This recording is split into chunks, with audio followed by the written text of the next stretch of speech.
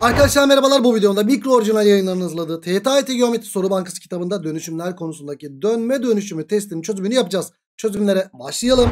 Örnek 1'de A 1'e 1 noktası orijin etrafında pozitif yönde 45 derece döndürüldüğünde oluşan nokta isteniyor. Bak 1'e 1 noktası. 90 ve 270 derece döndürmede bir formülümüz var ama 45 ve özel açılarda şekli çizmeni tavsiye ediyorum. Hemen 1'e 1 noktasını belirle. Hocam 1'e 1'i belirledik böyle. Burası 1 birim burası da 1 birim olacak mı? Evet. Sonra ben bunu ne, nasıl pozitif yönde? Bu yönde 45 derece döndüreceğim. 1'e 1'i hemen kazık çak. Nereye? Hop orijine. Şöyle orijine kazık çaktım. Orijin etrafında böyle 45 derece döndüreceksin. Yalnız döndürmeden önce şu açılarımız 45-45 olmadı mı? Bak özel bir açı çıktı. E hocam burası da 45 oldu. Bak 1 1 ise burası kök 2 birim oldu. Şimdi biz bunu kök 2 şöyle 45 derece döndürsem. Hocam 45 derece zaten burada kaç? 45 derece dönürse hop bu buraya geldi. O zaman bu buraya geldiyse arkadaşım şöyle şurası olacak. Kök 2 birim ya. Burası da kök 2 birim. A y eksen üzerinde kök 2 birim yukarıda sıfıra kök 2 noktası değil midir burası? Evet. Yani noktamız sıfıra kök 2 yapar arkadaşım. Tamam örnek 1 bu. Örnek 2'ye geldik. Yine özel bir açı. Analitik düzlemi çizelim. Analitik düzlemi çizdik. Kök 3'e 1'i gösterelim. Hocam kök 3'e 1 noktası burası. Hemen noktayı belirle. Burası kök 3. Şöyle belirledik. Burası da 1 mi yaptı? Evet. Şimdi kazık çak bakalım şuraya doğru. Orijin etrafında döndüreceğiz bunu. Ve negatif yönde. Bu yönde kaç derece? 30 derece döndüreceksin. Şimdi dikkat et. 1 kök 3 ise Pisagor bağıntısından burası 2 olur. E 90'ın karşısı 2 iken 30'un karşısı 1'dir. Yani burası 30 derece oldu. Hadi bakalım. Şimdi ben bunu döndürüyorum. Hop şöyle döndüreceğim. Bu yönde 30 derece. Hocam 30 derece zaten burası 30 derece dönünce hop bu buraya gelecek. Yani bizim şuraya gelecek. Bu nokta buraya geldi. Yalnız dikkat et şu uzunluk bu uzunluğa eşit olacak. Yani burası 2 birim oldu. Eksen üzerinde 2 birim 2'ye 0 noktası yapar. Yani cevabımız 2'ye 0 olur. 3'e geldik. Analitik düzlem, düzlemin birinci bölgesinde bulunan A noktası orijin etrafında pozitif yönde 140 derece döndürdüğünde x eksenin üzerine gelmektedir. Şimdi yine şöyle bir yorumlayalım. Buna göre A noktası negatif yönde diyor bize. Şimdi bize diyor ki birinci bölgede bulunan A noktası orijin etrafında 140 derece döndürüldüğünde ben A noktasını orijin etrafında 140 derece döndüreceğim. 140 derece döndürdüğüm zaman pozitif yönde x eksen üzerine geliyormuş. Hop şöyle döndürdüğümde burası x eksen üzerine geliyormuş. Yani sana diyor ki burada kaçı 140 derece. Sonra buna göre bu A noktası burası dönmüş halde burası. A noktası negatif yönde en az kaç derece döndürülürse y eksenin üzerine gelir.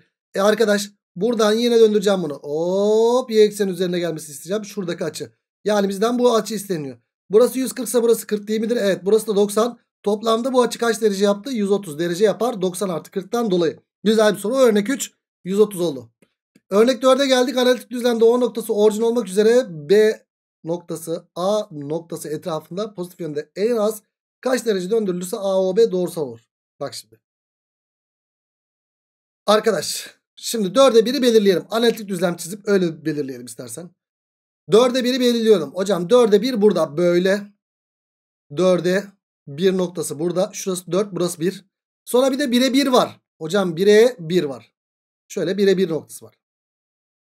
Diyor ki bana şunu 4'e 1 noktasını 1'e 1 noktası etrafında döndür diyor.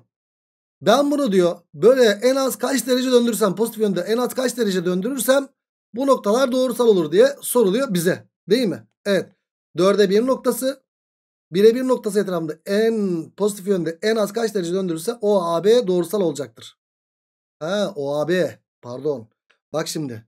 Şurası ne noktasıydı? A noktasıydı. Şurası O noktası. Şurası B noktası. B'yi döndüreceğim ben şimdi A noktası etrafında. Hop şöyle en az döndürdüğümde şu şöyle OAB doğrusal olsun diyor bize. Arkadaş belli. Şunlar paralel değil mi? Paralel. 45 derece doğrusal olması için yöndeşlik sağlanacak. Burada kaç kaç derece olacak? 45 derece olacak. B noktası yeni noktası burası oldu. Evet doğrusal olduğunda yöndeşlik böyle paralellikten söz edebiliriz. En az kaç derece döndürecekmişiz? Şekil yorumlaması güzel bir soru. Cevap 45 derece yapar. Dördüncü soru 45. Geldik 5'e. Analitik düzlemde 3'e 4 noktası orijin etrafında pozitif yönde 90 derece döndürüldüğünde arkadaşım 3'e 4 noktasını sen pozitif yönde döndürdüğünde 90 derece döndürdüğünde noktalar yer değiştiriyor. Bak şimdi dikkat 3'e 4 noktası burada pozitif yönde döndürdüğünde buraya gelecek. Hangi bölgeye düştüyse onun işareti. Bu bölgede işareti nedir? Eksiye artı değil midir? Evet. Burası eksi burası artı olacak. Yani eksi 4'e 3 noktası yaptı. X bölü Y oranı isteniyor bizden. X yani X bölü Y oranı neye eşit oluyor o zaman? Eksi 4 bölü 3'e eşit olur. Örnek 5'i bu şekilde bulduk. Geldik örnek 6'ya. Analitik düzlemde 5'e 3 noktasını negatif yönde döndüreceğim.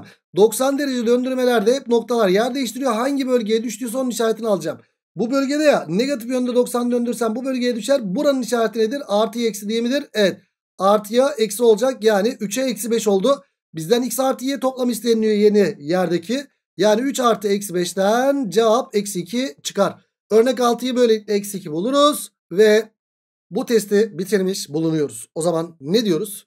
Bir sonraki testin çözümünde yani 90, 180 ve 270 derece döndürmelerinde görüşmek dileğiyle kendine iyi bak. Hoşçakal.